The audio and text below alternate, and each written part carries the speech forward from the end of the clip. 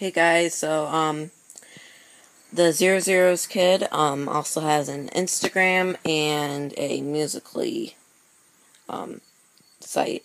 So go check it out. Um on Instagram it's Zach Zucchini Vlogs.